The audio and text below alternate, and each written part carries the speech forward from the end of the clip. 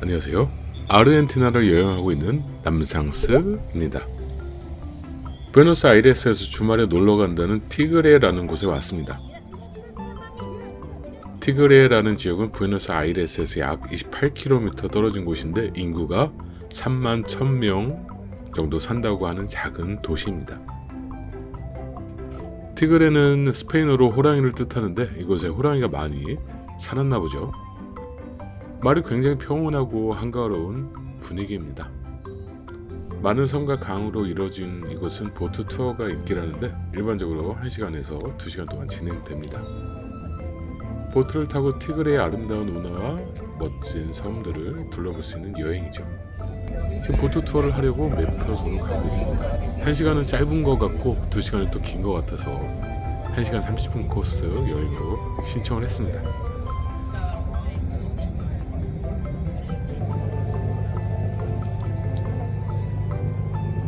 자 배가 있는 곳으로 내려와서 자리에 앉으려고 했는데 이미 꽉 차 있어서 그냥 서서 구경을 하고 있습니다. 아 이제 슬슬 배가 출발하려나 봅니다. 한국에서 여름은 이곳에서 겨울 시즌이죠. 한국처럼 아주 추운 날씨는 아니지만 늦가을 분위기입니다. 하늘도 운치 있게 흐릿하고 앙상한 나뭇가지들도 많이 보이죠. 오늘은 아르헨티나 휴일이어서 그런지 사람들이 많이 놀러 온 것 같습니다. 티그레는 리오 데 라 플라타 강의 델타 지역으로 수많은 운하와 호수로 이루어진 독특한 풍경을 자랑합니다. 파라나강 하류에 생성된 파라나 삼각지에 위치한 곳이라는데 남아메리카에서 아마존강 다음으로 두 번째로 긴 강입니다. 브라질의 아마존 강으로부터 흘러내려와서 파라과이, 아르헨티나를 경유하여 파라과이강 우루과이 강과 차례로 합류하여 리우데 라플라타를 거쳐 대서양으로 흘러 들어갑니다. 파라나강 이름은 원주민어로 바다처럼 크다라는 뜻입니다. 저 건물은 티그레 미술관이라고 하는데 신흥 부유국이었던 아르헨티나 시절에 만든 거죠. 외관이 매연하게 아름답죠. 뒤에 보이는 건물은 예전에 짓던 호텔과 카지노라고 합니다. 이제 현저하게 좁아지는 카라파차이 강이라는 작은 불길로 향합니다. 이 섬에 살고 있는 사람들이 필요한 물건을 배송하는 작은 보트가 있네요. 보트 안에는 물과 그리고 가스, 음료수가 잔뜩 보입니다.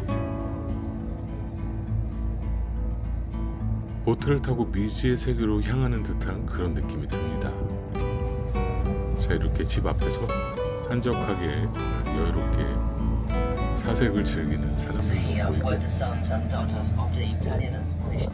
이곳에는 개인 별장도 있고 학교도 있고 또 교회도 있습니다. 작은 미술관도 있고요. 야, 특이한 나무도 정말 많습니다. 대체 어떤 나무길래 저런 특이한 모양을 하고 있을까요?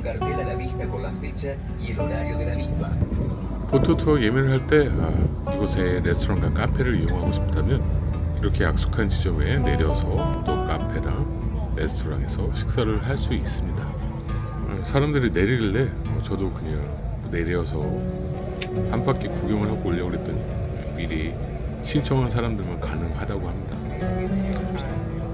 자, 이제 떠날 사람은 또 떠나 보내고 우리는 또 다음 여행지로 또 출발을 해야겠죠. 티그레는 작은 섬이 많이 있습니다. 마치 태국의 수상가옥을 연상시키는 곳인데 이 조그만 섬에 사는 사람들을 위한 보트, 택시도 다니고 편지도 배달한답니다.